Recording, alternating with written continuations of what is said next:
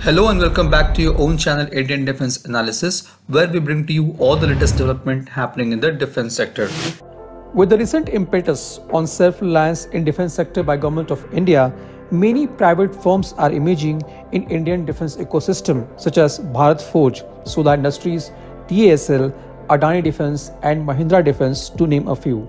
Now recently, a new firm called PTC Industry has been quite in news due to its expertise in manufacturing of high quality, high precision metal components for a variety of critical and supercritical applications such as jet engines. The firm has undertaken focused investments in technology for manufacture of advanced aero engine components and is adding world-class facilities for manufacture of titanium production with a large capacity.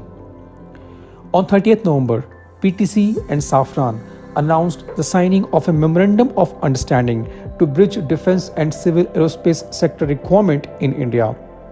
As a part of the MOU, these firms will identify and develop opportunities for cooperation and partnership on various fronts to meet anticipated requirement of military and aerospace sectors.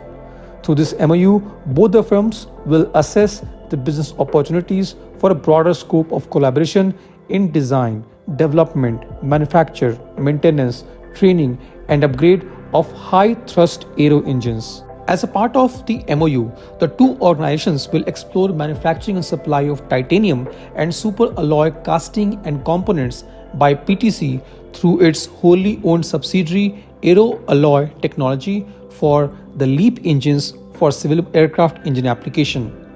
Further, the companies will also explore the manufacturing supply of titanium and super alloy casting and the components by PTC for M88 engines, which are used in Rafales and for various other military applications. Now, as per latest report, PTC has also won a contract to develop critical components for GTRE's Combat Aircraft Engine Development Program, which is none other than famous Kaveri engine. PTC, which already has expertise in manufacturing of critical components made up of titanium alloys using innovative investment casting hot isostatic pressing technology.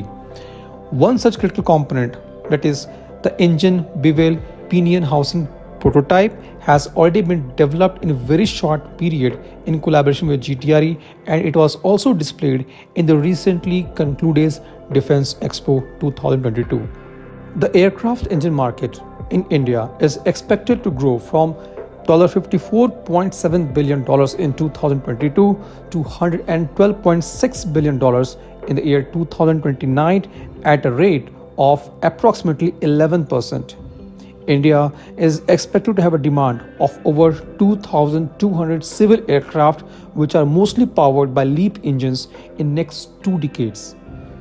In next two decades, it's also expected that there will be approximate requirement of 2,700 turbine engines for fighter aircraft, including those for replacement and trainers, and over 5,000 helicopter engines of various classes aircraft engine is almost untapped sector where government should encourage more private players to participate in order to lift the burden from defense PSUs for development and save billions of foreign exchange drained out every year.